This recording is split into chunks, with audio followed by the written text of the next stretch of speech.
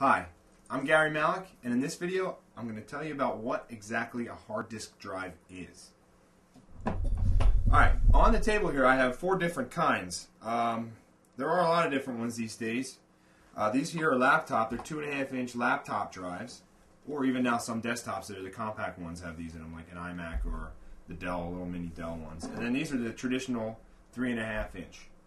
Now you have PATA, which is parallel ATA, which runs on IDE cables here. And then you have SATA, serial ATA, which runs off SATA cables here. This is the more modern of the technologies.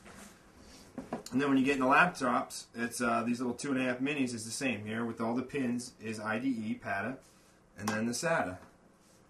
And these will work in a big computer just as well as a little computer. Um, you don't need any special modifications or anything. What these drives do is they uh, digitally encode uh, data on rapidly moving platters on the inside which run on a magnetic. If you actually open one of these up, the magnet inside, you will not find magnets stronger. Um, they hold all the information and data that you have in your computer. Um, on the inside, you could have as many as four, like almost like CD looking things that spin.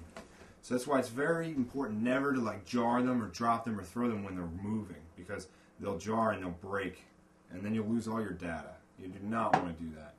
Um, I mean, these are what boot your computer would store all your data. Without them, we couldn't have computers. And that's basically it. I mean, that's hard drive 101. You got three and a half SATA, three and a half IDE, two and a half IDE, and two and a half SATA.